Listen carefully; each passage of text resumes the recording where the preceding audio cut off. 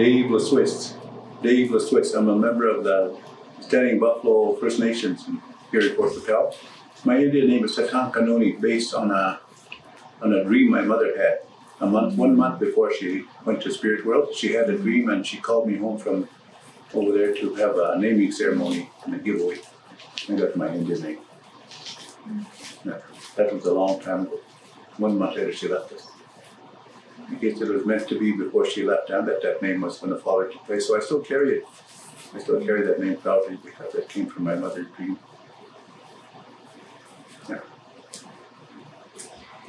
How did our people live before treaties? I think for me, what I what little I know about our, our cultural background is they were nomadic. They, they had their own areas and they lived from place to place like that, and they lived off the land. And uh, leadership was something that they had that was. Uh, I think the old people had a very strong spiritual connection, directly connected to the spirit, which is kind of stretched now. Huh? But back then, I think they were much closer, and I think that's where they got their direction from because they had the original astronomers, I guess, that watched the movement of the stars for direction down here, just like the schedule, a calendar of events. So I think that's how that's kind of how I visualize based on what little I've heard, which is meaningful. Okay. It's a good light, I think. Yeah. How were the leaders picked?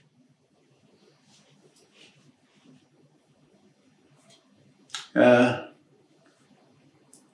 I, I think in leadership there were spiritual leaders that were uh, that, that led through guidance and support, and I think they had a they had a system of uh, that kept them together that were selected from. Uh, I think it was like a pie, yeah? And there were different uh, departments. I guess, for lack of a better word, that everybody had uh, uh, a responsibility to keep balance in amongst the tribe. Huh? But I, I, think the leaders were selected by the people as a whole so that uh, before election time, before election, they would go to whomever they saw that had good leadership qualities, they would fill the pipe and they would go to offer to that person. And if he accepted, then he was acknowledged as the leader by the tribe. Like that. And he was not, uh, he was, he served the people. There was no self serving in it except to help the people. Huh? So that's kind of how I, I, I understand that they function. And then the election thing came in, and then now, now what? yeah, that's as far as I'll go yeah. What kind of qualities did a leader have to have? Courage, wisdom, fortitude, spiritual connection, balance, humility.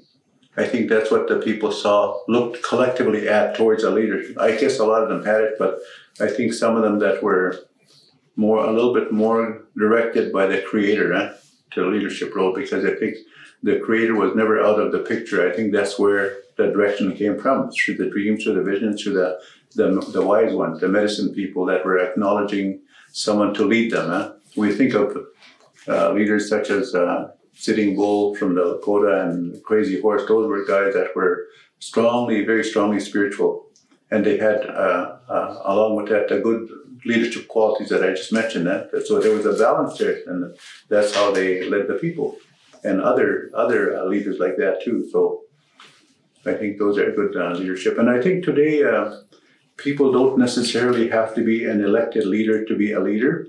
I think the power of example works well to anybody that is uh, spiritually, emotionally balanced. So when we have a sweat, we touch the, the water pail onto the rocks before the first round and we ask for blessings for us there to clear away our stuff that we can have something to share with others. Huh? And I think that's how leaders come in different variations other than those elected leaders or you know there's other people that are good role models I guess today huh? the good leadership qualities they have but they're not except they're not elected yeah they don't fly around travel around or go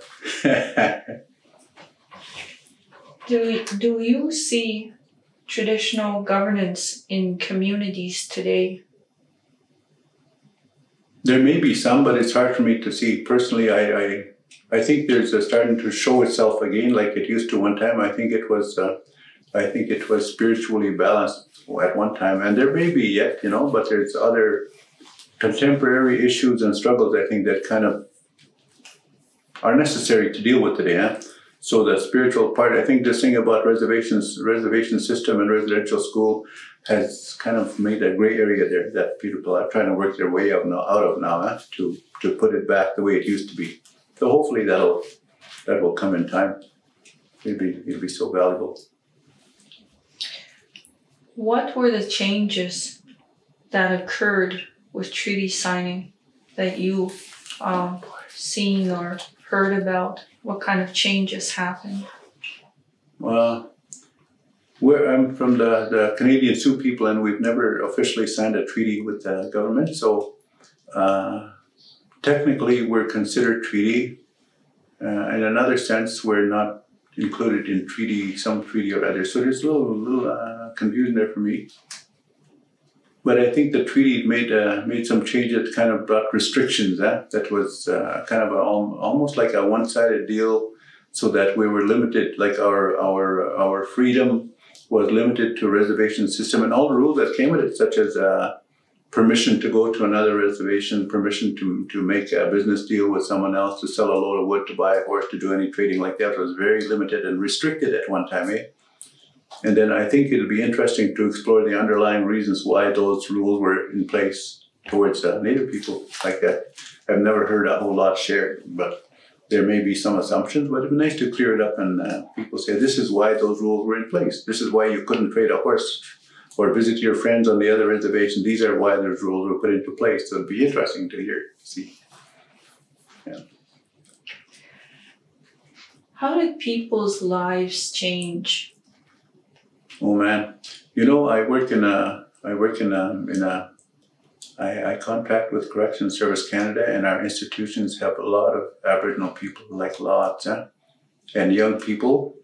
And we have other areas in life, such as uh, uh, poverty and people who are suffering from uh, lack of education. And I think there's something that displaced the spirit way back then that distorted our whole picture today, so we sit the way we are. And, and just a while ago, we talked about uh, uh, politics and spirituality together balance to help our leadership in our communities. And I think if we can backtrack a little bit and uh, and review those those things when uh, when all that took place, and so that uh, reservation system took away a lot of our stuff like that. So I think it's uh, it it kind of it kind of took the wind out of our sails, I guess, as a people to try to keep that balance in place. And I believe some people say, well, uh, it's just like turning a light switch just pull the switch and everything will be different. But it's not like that. There's a whole process, spiritual process of change and uh, social social changes, eh? social dynamics that took place that kind of rolled backwards a little bit. And I think what we're trying to do is roll them back over this way again. That's I think that's the process that's starting to show itself. And uh, I, I, I think it's so good that we have a, a lot more uh, Native people uh, educating themselves and, and sharing that, that awareness with other parts of society so that we all can understand. And I think that if the treaties were signed like that long ago, maybe it wouldn't be like this.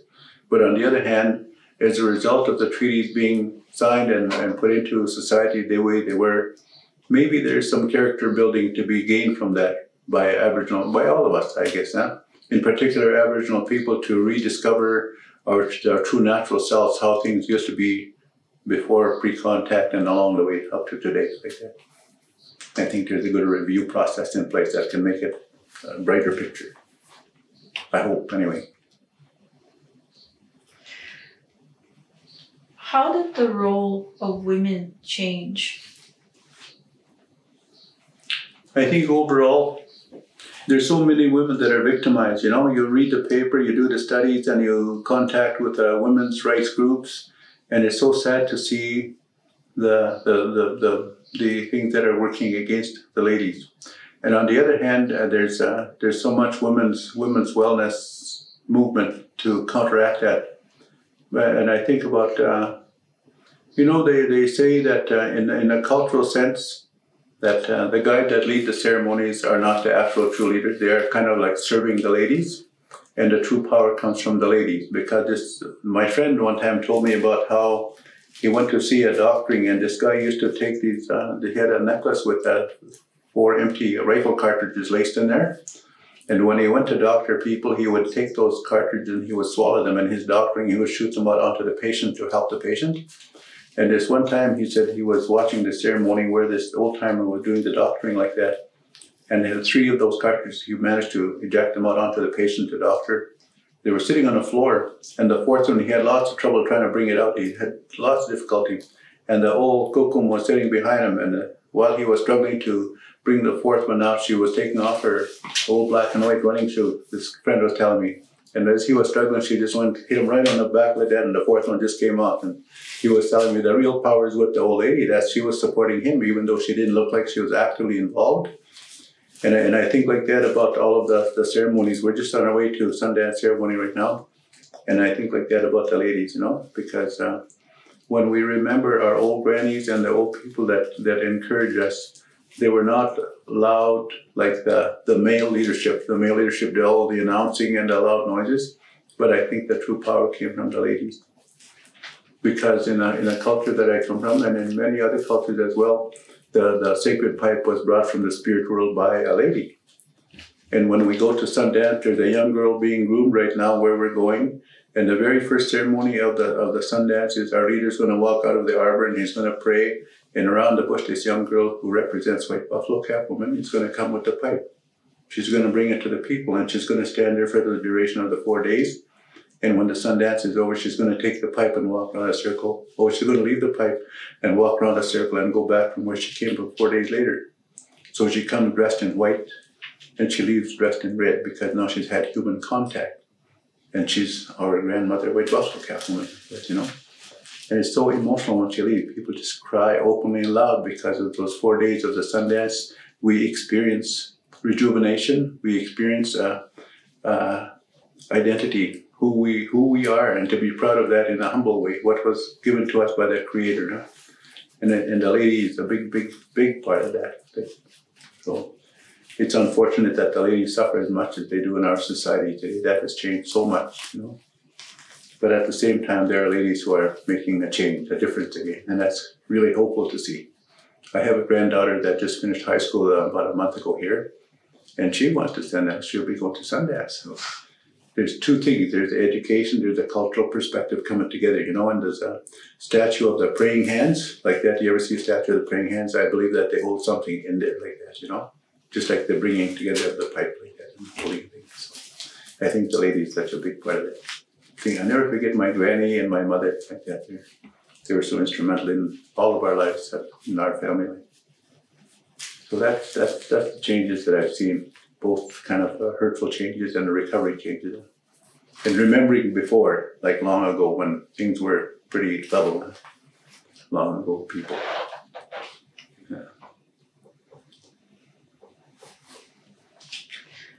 How did the people make a livelihood before the treaties? As in, how did they live off the land?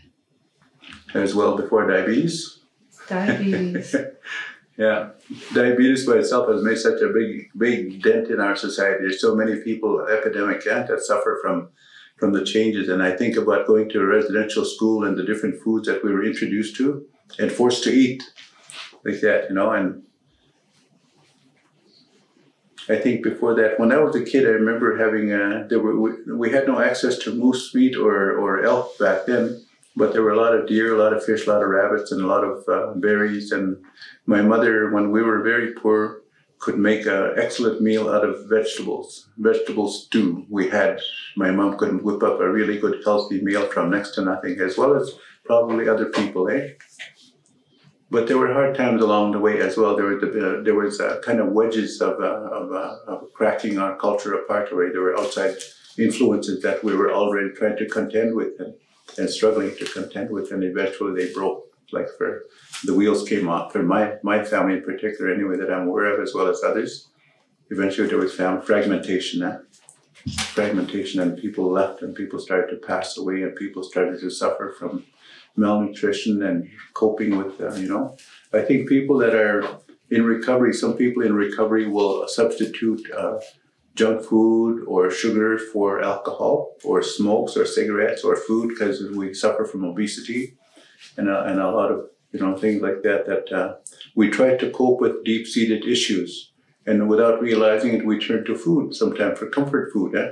Smells good, tastes good, looks good, must be good. So let's have some. And pretty soon we're addicted and hooked into it, and pretty soon we're getting overweight, and the next thing you know, we have uh, health health issues. Eh? Which is which is I think uh, spiritually affecting us as well. I don't think it's just uh, the deep emotional uh, turmoil or, or trauma that we experience, but uh, the coping things that we, we try to use as well to keep ourselves afloat also kind of, how do you say that, compounded the, the problem, uh, added on to the, to the, to the underlying problems of, of survival, I guess. What kind of foods did they pick from the land? Uh, I remember we used to go when I was living in Montana. We used to go pick wild turnips. We used to drive around the little hills and a little spade and say stop here. And I knew how to pick them back then. And uh, there was different kind of berries. There was uh, dried meat. There was dried fish, smoked fish, like that. There was a lot of wild meat and very little. Uh, and all of a sudden, we discovered, uh, just like in that movie Dances with Wolves, when that guy tasted sugar, how his face went. We were all looking like that all of a sudden. and we didn't see what was coming behind. Oh, now look at us today, and we really pay for it. Had we known then, had we had influence, had we had some kind of support to say this could cause you problems, but who was going to tell us that, you know, until we learned the hard way. So I think now the thing is to advocate for a healthy uh, lifestyle. I think we have healthcare professionals from Aboriginal communities that are trying to help us to get things back on track and some of it we can't undo, but we can prevent the other ones coming behind from like that, you know. So in my travels, I try to tell people that I how I got uh, became diabetic.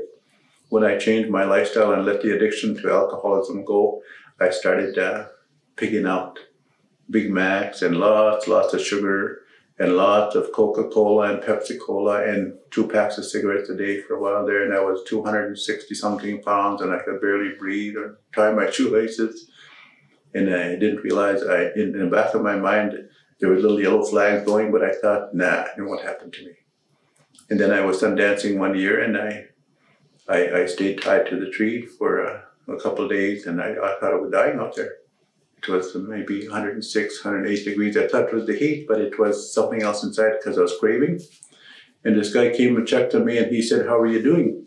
And I said, uh, I need a drink. I need a drink. His Sunday, I said, No food, no water. And he said, You you pray. Then he left and he was coming and all of a sudden I see a little styrofoam cup. Oh, good. He's bringing me something to drink. He brought a tiny little bit of choke cherry juice, just enough to cover that styrofoam cup, the bottom. And he gave me, now and I took it and I just threw it back, more, and more, like that. And he said, No, you pray. You pray. So I made it through the Sundance, and when when it was over, those guys told me, when you go back to Canada, you should go check. There may be other problems. And reluctantly, I went, kind of half thinking, you know, like there's there is a problem. And I went for tests, and it was like a death sentence when they phoned me and said you're diabetic. I had dreams about uh, IDF traditional uh, traditional power dancer, I had dreams about from my knees down, I had artificial limbs with my outfit on. Eh? It was terrifying at the beginning because I, I couldn't understand how to cope with it yet. And it was uh, almost like the end of the world for me. And other people I've spoken to as well have told me when they found out, discovered that, told that they were diabetes, that, that it was game over. But, you know, what we have in place today helps us to, uh, to cope with those problems like that. And, and a lot of it has stems from uh, improper nutrition for me. I, co- I was coping with something else, and I was using not the best thing to cope rather than doing a, better food selection and eating the right foods. I was I was adding to the problem without realizing it until too little, too late. So I think all the information sessions that we have, and we have. Uh, I've seen uh, pamphlets and stuff on uh, on good food selections. Eh? In different uh, different health departments give information out there that's very helpful in, in, in helping us to make the selection. But this thing about it looks good, it smells good, it tastes good, so let's have some is a hard thing to break from because it's another addiction, I think, and it's a coping mechanism because there may be deep some issues within that are still un, undealt with, and we need to find another way to cope with them rather than to. And I think that's probably one of the reasons why people relapse and go back drugging or using, you know, recidivism, relapse. So, as a leader, you would have to deal with those kinds of issues from your own people.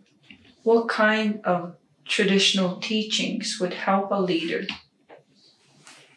I think uh, I think the sweat lodge is starting to make a comeback. There's gray areas yet because we have underlying issues again that need to clear the way. If we can take our time and do it thoroughly and, and carefully and honestly, then it'll come stronger. The creator will push a little bit more goodness. But if we push too fast and grab something that we may not be ready for, uh, for and for us yet, then it kind of jumbles it up. It'll take a little bit longer, and we may have to go back and reload and start over again. But I think because we're desperate for goodness in life, we grasp at whatever, sometimes we grasp at whatever comes first and we hang on to it. We put a death grip on it because we've suffered for so long and that's all we've ever known. And it's the first light of hope comes like this. It may be a little bit gray. We just grab it and we hang on now like a drowning person. And it may not be quite in place yet. So we have to go really slow. And that's a hard thing to do because we've struggled. We've suffered. People suffered for a long time and they want out. And where's the doorway, you know? So I think that uh, those are some of the things that uh, maybe uh, leadership could learn a little bit more about themselves and lead us out like that. Because when I worked in a treatment center, one of the chiefs came to treatment to try to break trail for his people because they were reluctant to to look at themselves, look at the addiction, and he was trying. So he role model for them. He came to treatment, and then they started to come. There were a number of people, leaders that came in like that, which was a really good thing, you know. So I think our, our I don't know how to motivate or to suggest to leadership that they're our leaders and we count on them to help us, you know, like that. So not so much to tell us because it's nice to know something and tell other people what to do, but we also have to try to our our moccasins have to be moving as our mouth moves, I think, sometimes. So it makes a difference, huh? Yeah. What teachings will help leaders today? Uh, in a in a community that I'm from, we I think I'm guessing we have roughly 1,200 members of our band, and out of those 1,200, maybe 10 can speak our language fluently, if that. So out of all those people, the language has been lost, and I think the language is in harmony with nature. It's a connectedness from our spirit to our surroundings, our environment, and everyday life. And I think if we can recover our language, I think it would make a difference. For me, I couldn't speak my language for a long, long time. I'm not 100% fluent at it, but I know enough to understand. And when I hear it, it, it makes the spirit move. It, the spirit, the sense of identity becomes, uh, it starts to move again. And, and then I start to be, to know, to realize who I am and to be proud of that person. Not, you know, not bragging proud, but just to be humbly aware of my relationship to the creator through the language. Like that. So there's a connector there. I think I just like that tobacco is connected like that. I think the language and the and the culture ceremonies like that, if we knew those, it would kind of help to to turn things back in place. That's what that's what I believe in, and I hope for it really because in my own personal life, it's made a big big difference. Huh? I'm I'm so happy with the things that are in my life. There's things to deal with, you know, but at least if I didn't know what I know about the culture, the language like that, the ceremonies, then I think life would be still kind of gloomy for me. So I, am assuming it's like that for all of us if we could kind of get ourselves going like that. Huh? And, and I think sometimes I wonder if there's a if there's differences amongst say our people if they have little personal, you know, little uh, sharp edges there those those need to be kind of rounded out so they're not so sharp so that we can start to get along a little bit more and work together on the same page. And it used to be like that long ago when the old people, I was in a community where uh, the elder and the NADAP worker were having, we were having a talking circle and there was another elder that had been sober for a long, long time. And he was talking about, uh, you know, we have a nice shiny office here, he said, and we sit here and some of our people that are struggling with an addiction will come close to this building and they'll turn and they'll walk right by. They'll go past. They won't come in. For whatever their reasons. Us too, we know that when we were drinking, we had not very strong self esteem. And he said they'll come again. And long ago, we used to go visiting. We never locked our doors. We would go house to house and we would have tea and bannock and we would socialize. We don't do that no more. I might as well say it. He said, You and you. And he pointed at the elder and the NADAP worker. You guys know that too like you guys sit in your office and say, well, they can come here. They're afraid. we should be going out the way we used to and visit them. We don't have that no more. What's the reason for that? He said, so that was quite an interesting lesson. He was honest about what he felt, you know, and he didn't do it in a threatening way. He was supportive like that. So coming from a community member, and I think a large part, if our community members had a, more of a say, and I think that that that, that lack of, uh, and it's starting to grow. But however, those people who are still a little bit timid or afraid to speak out, there's a history to that that may not have to do with the presenting issue right now. It may be coming from someplace in their past where they've had struggles, you know, with courage, spiritual courage like that. And I think that's why if we could speak the language, because have been two hearings where the elder and the offender speak the same language and they help the rest of the circle to understand the elder interprets for the people, you know, the other, the other people like that. So I, I, I'm pretty high on this language thing. I'm, I want to learn more, you know, and other ceremonies as well. the role of the women, like uh, moon time. Moon time, that, that's a very high interest thing for me because it involves sacredness and life, huh? And the ceremony like that, the, the high honor of the ladies like that. I, I don't know that we understand enough of that huh, to to make it because people get embarrassed or uncomfortable when the issue comes up. But when you really look at it closely, there's so special. Uh, I was in another hearing where a lady from another culture was sitting in a, in a sharing circle like that, and we were discussing uh, the moon time thing, the sacredness of moon time. And after break, she said, "You know what? For me, where I grew up, there was nothing but shame involved in moon time. It was considered a bad thing." And I thought that's unfortunate like there's another there's another perspective on something very special, you know, to life. So I don't know if I'm going off track or not here. So what I hear you saying is these ceremonies are important for leaders, even for today.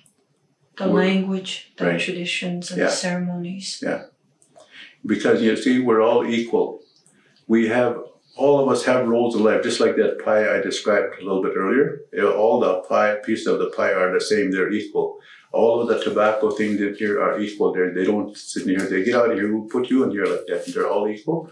So in terms of leadership, and when we talked about leadership long ago, when people presented the pipe, that didn't put that one, elevate that one on a platform. But if he accepted it, he stayed equal to everybody and served everybody equally, not to dominate, manipulate, or anything like that, you know? Good leadership was very humble and honest. So I think, I think knowing those things will help to make it uh, better. We need more talking circles like this or people socializing or to bring it back down to grassroots level the way it used to be like that. And I think there are bits and pieces from what I understand that are starting to be like that, you know, where people are starting to mix and mingle a little bit more.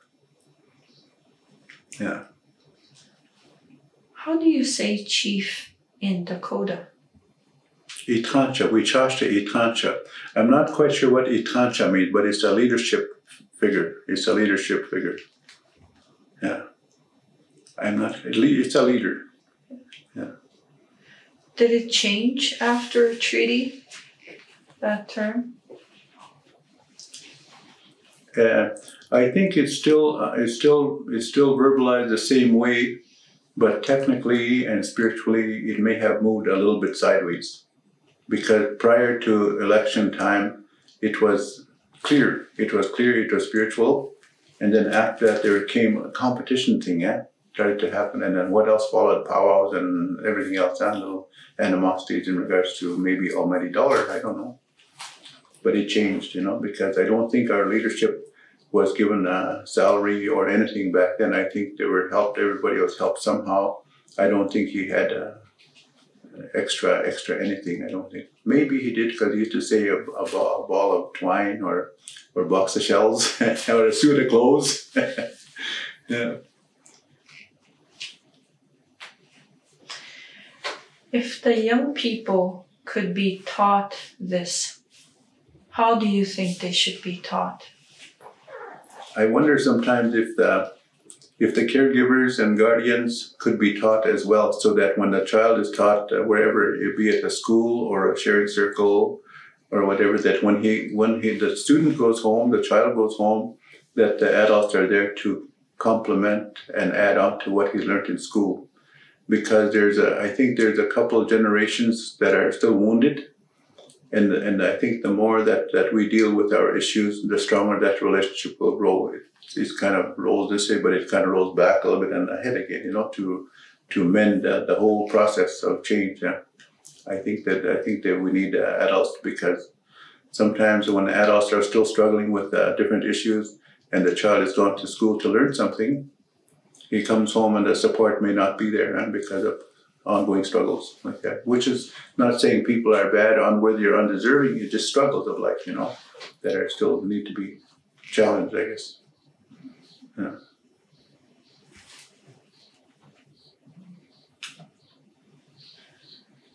How did the treaties, do you think, changed all of that with the Indian Act and how it changed the lives of people on reserves?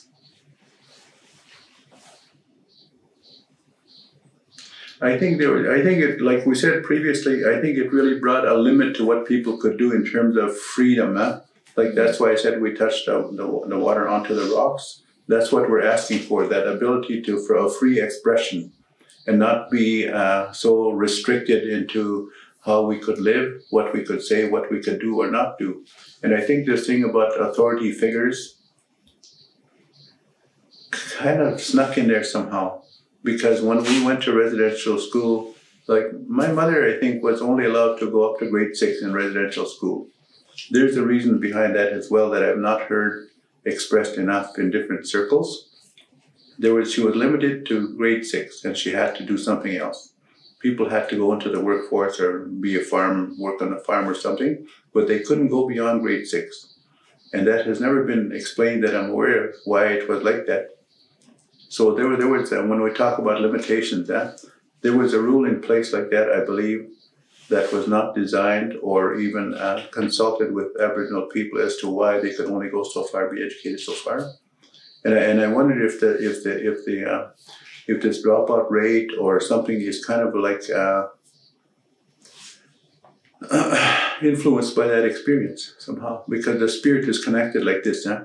From one generation to the next. And what it's like um, a mother who's expecting, who's pregnant, who's drinking alcohol or smoking drugs or feeding the baby good, the baby benefits from the mother's experience. And I think somehow the same happens from generation to generation in that we feel the ripple effects of what they experienced over there.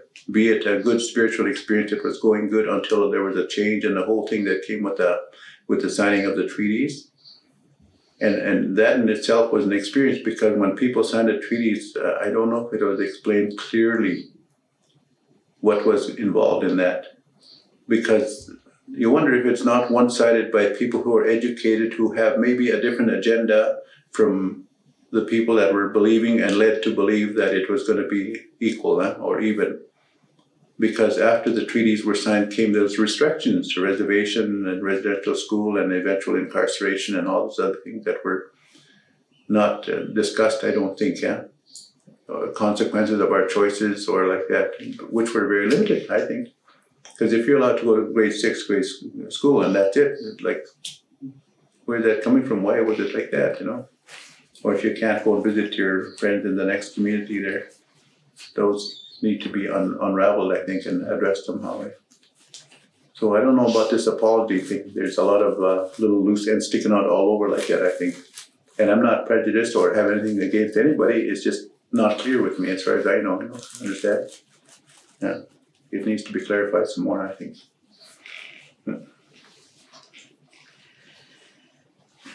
If you could tell the young people who will be listening to this DVD if you could tell them how to use these traditions and leadership qualities and skills into the future, what would you like to say to them? I was uh, I was uh, looking at a little article and somebody shared with me a, a while back that uh, there was a study done on Native American youth, three groups of Native American youth, in the terms of I think it was addictions, and the group that did not so good were the group that were only in a contemporary world. And the group that was the middle group was made of those that are only following the traditional way, but the group that did the best were bicultural, multicultural. Eh? so that as much as we want to succeed and we educate ourselves, I think we need to be grounded in our own traditional background. One of my friends came with me to Sundance one time from the Cree people. We were going to South Dakota for fasting and Sundance, and he said, before we leave, uh, on the way down, we're going to stop. I'm going to stop at my grandmother. So we passed through his community, and he went to visit his grandmother, who gave him a lecture about grounded in our beliefs, what Creator gave us. And she said, You go with your Sioux friend and you support him and you pray the way they pray over there, but you never let go of what the Creator gave us, our people, as well. So you have two now. What, a good uh, lesson she shared with him, you know? And, and then he went to her for direction. He just didn't bypass her and said, Okay, let's go. He said, I want to, I wish to see my grandmother on the way down. So we stopped and she gave him the little talk. She supported him, she supported me by being bicultural in her own way, like that and she was very strong in her her beliefs, you know. Then when we went to Sundance, she came. She came to support us. And then when he finished his four year, his dad came and we they honored us. We were dancing around, and his dad was in the middle dancing and shouting like he's doing that Sundance. He was so proud of his son. That was a neat experience. I'll never forget those. Those are learning lessons in life, no? So I think if, as much as we we want to advance in a contemporary world, the other part of that is to stay grounded in our own world like that. And I think it makes a more of a rounded person. We have that much more to offer and to experience and to understand. We're sensitive to the world in a wider scale, I think, you know, because our natural identity is active in all of that. So we can have the best of two worlds, or how many worlds we wish to be involved in, I think. Like that. So, so I think that's a good thing for young people to learn to, you know, to, and, and, and who do we follow? Who is there to follow, you know? Like who are our role models? when when I, I work for Corrections Canada, and sometimes when the young men leave, they they say, I don't know where to go to to find a sweat. I don't know where to go for this. I don't know who to follow like that. So I, I believe it's like that across the board, not just the guys that are incarcerated. I think many of there may be. But hopefully there are people, like I don't know a lot of people in terms of the cultural sense. So there may be some good, strong cultural people all over the place that I'm not aware of because my world is limited where I live. Like that. Where, but where I live, I see some. There's some good cultural support if needed. I think. And I, me, I go to the where my the cultural people, like the, the Sioux people, the Lakota guide, because that's where my was given to us, not to ignore. And I go to all ceremonies, but for my own growth, I go to the Lakota people that give me lectures and kick my butt when they need to, like that. We're done. Are we? Yeah. Oh, just getting started. Thank you, sir.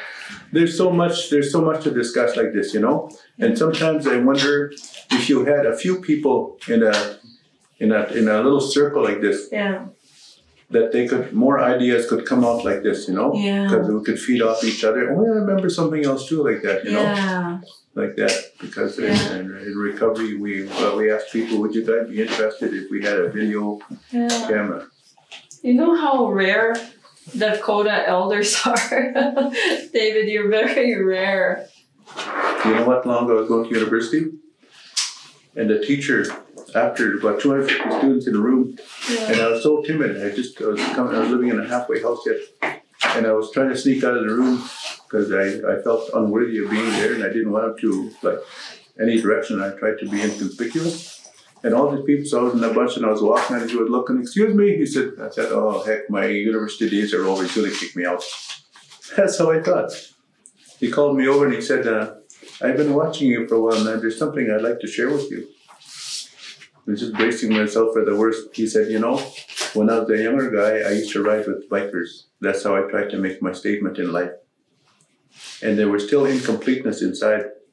And I reviewed my life, he said, and I decided, you know what, I'm going to go to school. So I went back to school. Now I teach. I make a much stronger statement. And he said, if you ever decide that you wanted to do something, man, you've got so much to offer. Here's a guy I don't even know. I gotta go. I gotta go. And then it kind of followed me because I said, "What does he see? Like what? Like doing what?" And the last time I went to Black Hills, I was talking to my friend Charles Pastor. I said there was a couple of our ladies sitting there, and he was sitting on a couch, and I was sitting here with a night lamp here. And then he turned to me slowly and he said, "My friend, why aren't you doing it?" I said, doing what? You know? He said, don't tell me. You know what you're supposed to be doing. And he told me in Lakota, they, they, they know, have something for you to do, and why are you not doing it? And I started to cry, and I said, boy, I feel so mixed up inside yet because in my last episode of drunk, I was, I was charged with taking another guy's life. And I had a very hard time to overcome that. I went to the Sundance tree a number of times, and I don't know if that's still a little shadow in my life, you know? I've been cleared that almost 30 years ago now. And but still, sometimes I wonder, and I need to clear that up. So that's why I try to keep in contact with those guys to help me, encourage me, rejuvenate me, and tell me I'm okay. And and I sabotage some things sometimes, you know. Mm-hmm. But at the same time, from the from the progress I've made from the, my last time I drank up to today, this day and night, like this, sitting like this. The last time I sat like this was there was police there, and I had a number of One of these here. I got that someplace in my wallet too yet. I still keep that because they say never forget where you came from.